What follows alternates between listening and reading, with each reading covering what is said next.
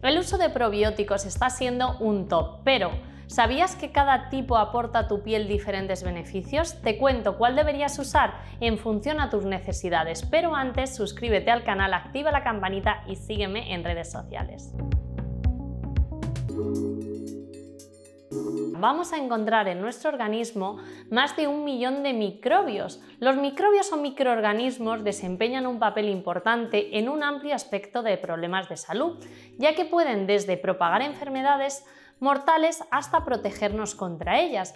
Aunque ya conocemos desde hace tiempo los beneficios de las bacterias buenas, en nuestro intestino hay diferentes estudios recientes que han demostrado que esa misma premisa puede aplicarse a la calidad de nuestra piel. Los limpiadores antibacterianos eliminan de la piel sus bacterias saludables, lo que puede que haga que se produzcan erupciones, brotes de rosácea, psoriasis, eczema o incluso piel sensible. Por ello, aquí puede ser muy interesante incluir tanto probióticos como prebióticos e incluso posbióticos. El uso de probióticos puede ayudarnos de muchas maneras y según el tipo de probiótico que tú uses, tu piel va a obtener diferentes resultados. Pero, ¿qué son los probióticos? Pues los probióticos son microorganismos vivos o bacterias que forman parte de nuestra flora intestinal y que contribuyen a la normal digestión y al buen funcionamiento de nuestro organismo.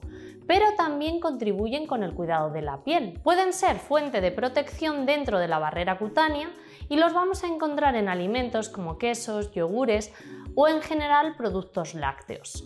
¿En qué casos se aconseja tomar probióticos? Acné, eczemas, alergias, rojeces, piel sensible, brotes de dermatitis atópica o brotes de rosácea.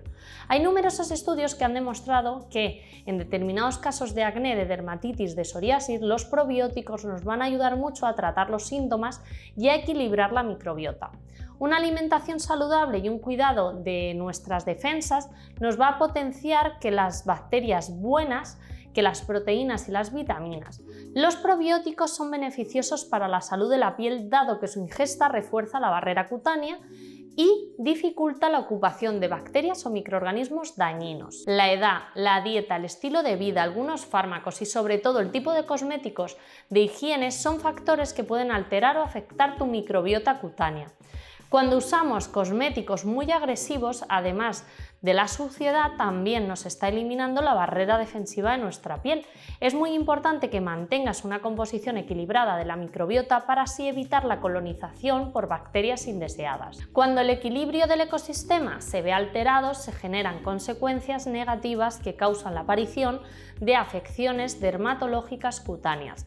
Si se sufre cualquier afección dermatológica, puede haber ciertos cambios como por ejemplo aumentar la fibra de la dieta consumiendo más frutas y verduras, tienes que seleccionar alimentos ricos en fibra prebiótica como los espárragos, el ajo, la cebolla y también probióticos como el kéfir, el yogur, el kimchi, las verduras fermentadas en general nos van a ayudar porque también podemos consumir por ejemplo pues más beta caroteno, más vitamina C, nutrientes que son necesarios para la regeneración de nuestra piel. Espero que os haya parecido interesante el vídeo, si os ha gustado dale like y si queréis segunda parte déjamelo en comentarios y os espero en mi Instagram. ¡Chao!